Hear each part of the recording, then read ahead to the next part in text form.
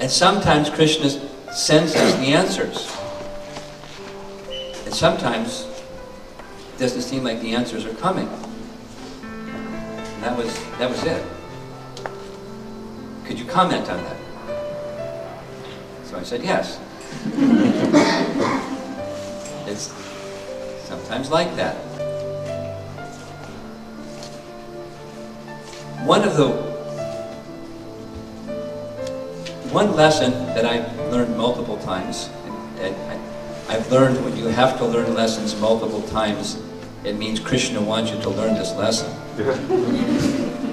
because you learn it and then you forget it. And then Krishna has you learn it again. So one of the, one of the wonderful lessons is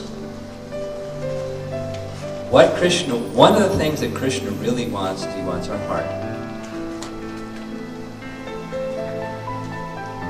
He can easily supply solutions. What Krishna wants from us our heart.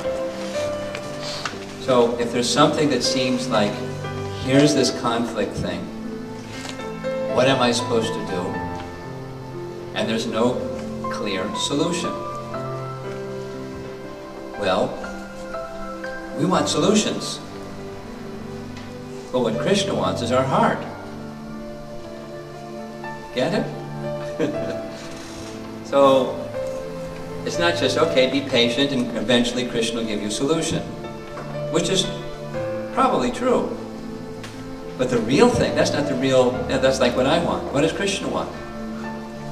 To give your heart to Krishna. Krishna, whatever you want. Yeah. what if I don't give you a solution? Krishna, whatever you want.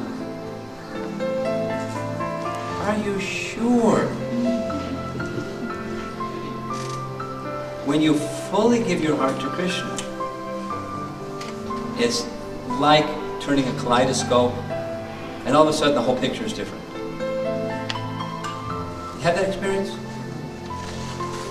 Yes. A few times. when the lights went out.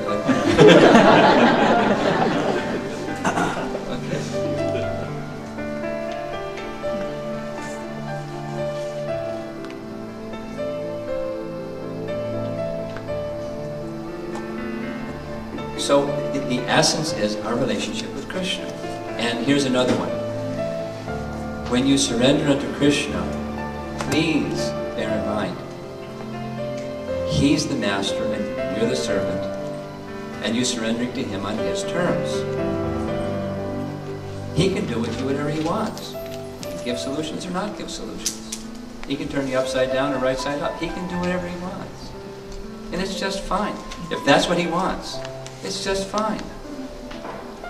And if you give your heart to Krishna, when you're upside down or right side up, that's the essence. And you feel that connection with Krishna. And it's okay.